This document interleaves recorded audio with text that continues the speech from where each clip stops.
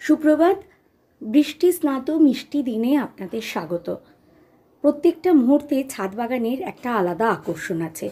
এক এক দিন সকালবেলায় ছাদে গিয়ে এক এক রকম জিনিস আবিষ্কার করি। আজ ছাদ বাগানে এসে দেখলাম, ড্রাগন ফলটা অনেকটা বড় হয়ে গেছে।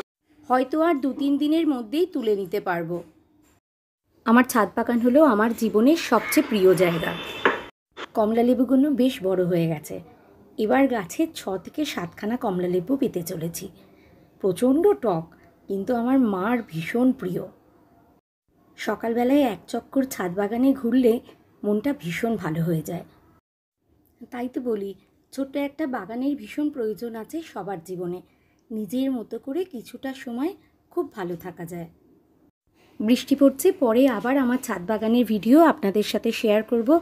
সবাই খুব ভালো থাকবেন, সুস্থ থাকবেন, আর অবশ্যই নিজেদের ভালো লাগার জায়গাগুলোকে প্রাধান্য দেবেন।